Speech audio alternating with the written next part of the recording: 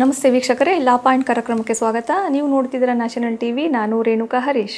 ವೀಕ್ಷಕರೇ, ಕೌಟುಂಬಿಕ ದೌರ್ಜನ್ಯಕ್ಕೆ ಸಂಬಂಧಪಟ್ಟಂತೆ ಯಾವ ಸಂದರ್ಭಗಳಲ್ಲಿ ನೀವು ಟ್ರಯಲ್ ಕೋರ್ಟದ್ದು ಆಜ್ಞೆಗೆ ಕಾಯಬೇಕಾಗಿಲ್ಲ ಅನ್ನೋದ್ರ ಬಗ್ಗೆ ತಿಳಿಸ್ಕೊಡ್ತೀನಿ. ವೀಕ್ಷಕರೇ, ಸಾಮಾನ್ಯವಾಗಿ ನಾವು ನೋಡ್ತಿರ್ತೀವಿ ಡೌರಿ ಹೆರಾಸ್ಮೆಂಟ್ ಕೇಸ್ಗಳು ಡೊಮೆಸ್ಟಿಕ್ ವೈಲೆನ್ಸ್ ಕೇಸ್ಗಳು ಅಂದರೆ ಏನು ಗಂಡ ನನ್ನ ಗಂಡನ ವಿರುದ್ಧ, ಗಂಡ ಗಂಡ ಮತ್ತು ಅವ್ರ ಮನೆಯವ್ರ ವಿರುದ್ಧ ಹೆಂಡತಿ ಒಂದು ಕೇಸ್ಗಳು ಹಾಕೋದು, ಮತ್ತು ಈ ವರದಕ್ಷಿಣೆ ಕಿರುಕುಳ ಅಂತ ಹೇಳಿ ಕೇಸ್ಗಳು ಹಾಕೋದು ನಾವು ನೋಡ್ತಾ ಇರ್ತೀವಿ.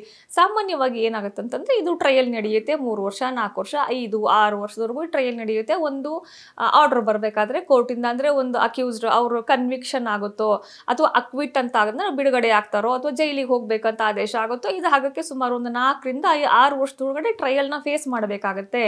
ಯಾವ ಸಂದರ್ಭಗಳಲ್ಲಿ ನೀವು ಟ್ರಯಲ್ನ ಕಾಯಬೇಕಾಗಿಲ್ಲ ಅನ್ನೋ, ಅನ್, ಅನ್ನೋದಾದರೆ, ವೀಕ್ಷಕರು ಯಾವಾಗಲೂ ಎವಿಡೆನ್ಸ್ ಕರೆಕ್ಟಾಗಿ ಇಟ್ಕೊಂಡಿದ್ರೆ ನೀವು ಟ್ರಯಲ್ ಕೋರ್ಟನ್ನು ಕಾಯಬೇಕಾಗಿಲ್ಲ. ಹೈಕೋರ್ಟ್ಗೆ ಡೈರೆಕ್ಟಾಗಿ ಫೋರ್ ಏಯ್ಟಿ ಟು ಹಾಕ್ಬಿಟ್ಟು ಎಫ್ ಐ ಆರ್ನ ಕ್ವಾಶ್ ಮಾಡಿಸ್ಬಿಡ್ಬೋದು. ಡಿ ವಿ ಕೇಸ್ ಆದರೂ ಸರಿನೇ ಎಫ್ ಐ ಆರ್ ಆದರೂ ಸರಿನೇ. ಅಂದರೆ ಡಿ ವಿ ಅಂದ್ರೇನು ಅವ್ರು ಹೋಗಿ ಪ್ರೈವೇಟ್ ಆಗಿ ಒಂದು ಕಂಪ್ಲೇಂಟ್ ಹಾಕಿರ್ತಾರೆ. ಅದಕ್ಕೆ ಪೊಲೀಸ್ ಎಫ್ ಐ ಆರ್ ಬೇಕಾಗಿರೋದಿಲ್ಲ.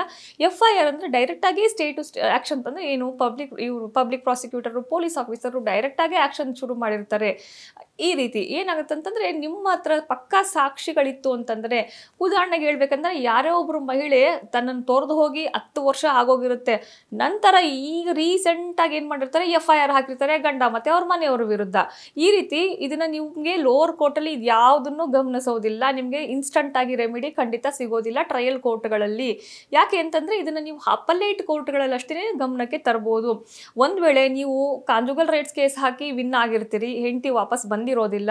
ಹಾಗೆ ಡೈವೋರ್ಸ್ ಕೇಸ್ ಹಾಕೊಂಡಿರ್ತೀರಿ. ಡೈವೋರ್ಸ್ ಕೇಸ್ ಹಾಕಿದ ಮೇಲೆ ಆಕೆ ಆ ಕಡೆಯಿಂದ ಕೌಂಟರ್ ಸ್ಟಾರ್ಟ್ ಮಾಡಿರ್ತಾಳೆ. ಮೇಂಟೆನೆನ್ಸ್ ಕೇಸ್ ಹಾಕೋದು ಡಿ ವಿ ಕೇಸ್ ಹಾಕೋದು ಎಫ್ ಐ ಆರ್ಗಳನ್ನ ಮಾಡಿಸೋದು ಸ್ಟಾರ್ಟ್ ಮಾಡಿದರೆ ನೀವು ಇದನ್ನೆಲ್ಲನೂ ಅಪಲೇಟ್ ಕೋರ್ಟ್ಗಳಲ್ಲಿ ಡೈರೆಕ್ಟಾಗಿ ಗಮನಕ್ಕೆ ತರೋದ್ರಿಂದ ಎಫ್ ಐ ಆರ್ ಕ್ವಾಶ್ ಮಾಡಿಸ್ಬಿಡ್ಬೋದು.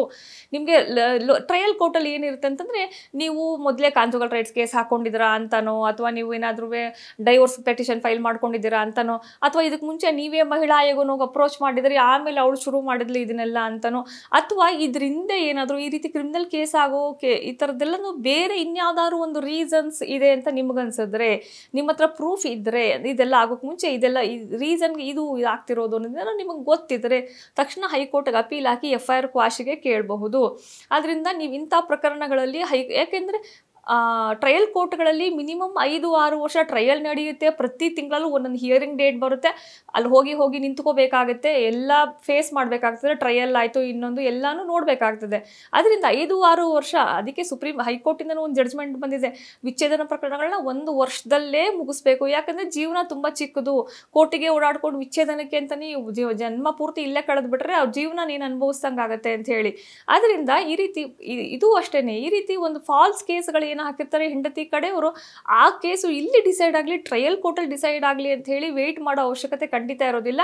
ಹೈಕೋರ್ಟ್ಗೆ ಅಥವಾ ಸುಪ್ರೀಂ ಹೈಕೋರ್ಟ್ ನಂತರ ಸುಪ್ರೀಂ ಕೋರ್ಟ್ ಇರುತ್ತೆ. ಹೈಕೋರ್ಟ್ಗೆ ಮೊದಲನೇದಾಗಿ ಫೋರ್ ಏಯ್ಟಿ ಟು ಕೆಳಗಡೆ ಒಂದು ಕ್ವಾಶಿಂಗ್ ಹಾಕೋದ್ರ ಮೂಲಕ ಒಂದು ಏನು ಎಫ್ ಐ ಆರ್ನ ಡೈರೆಕ್ಟಾಗಿ ಕ್ವಾಶ್ ಮಾಡ್ಬೋದು. ಸಾಕಷ್ಟು ಒಂದಿನ ಹಿಂದೆ ಹೇಳ್ದಂಗೆ ನೀವೇ ಮೊದಲಿಗೆ ಕೇಸ್ಗಳು ಹಾಕಿದ ಮೇಲೆ ಆಕೆ ಹಾಕಿದಾಳ ಅಥವಾ ನಿಮ್ಮ ಕಡೆ ಏನೇನು ಡಾಕ್ಯುಮೆಂಟ್ ಇದೆ ಕರೆಕ್ಟ್ ಇದೆ, ಇದು ಸುಳ್ಳು ಅಂತ ಹೇಳೋಕ್ಕೆ ನಿಮ್ಮ ಹತ್ರ ಏನು ಪ್ರೂಫ್ ಇದೆ ಇಟ್ಕೊಂಡು ಡೈರೆಕ್ಟಾಗಿ ಹೈಕೋರ್ಟ್ಗೆ ಕೇಸನ್ನು ಫೈಲ್ ಮಾಡ್ಬೋದು. ಹಾಗೆ ಎಫ್ ಐ ಆರ್ ಕ್ವಾಶ್ ಕೂಡ ಮಾಡಿಸ್ಕೋಬೋದು.